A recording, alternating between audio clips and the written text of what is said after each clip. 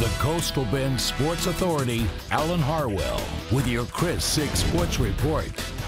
Hi, good evening, everybody. It will be a very rare Saturday off for both the Islander men and women's basketball teams. A good chance to we'll get some much rest. Uh, the men are riding a two-game win streak, and they're going to play at Abilene on Wednesday night. The ladies, meanwhile, they're coming off a tough loss at Nicholls. Still, they've been playing some really good basketball of late.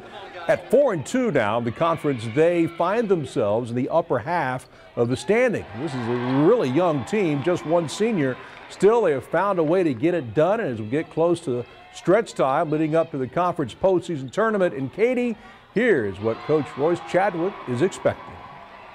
We got to be consistent. You know, we, we if uh, uh, you are one of our mainstays, you got to go in and be able to play without foul trouble. You got to go in and give us your contribution. We have to make adjustments because each game is a little bit different.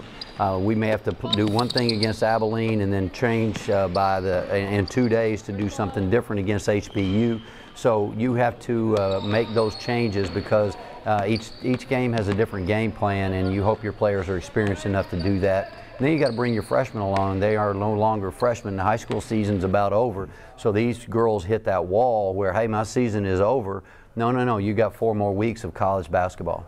All right. The Islanders will play host to Abilene Wednesday on campus inside the Dugan Center.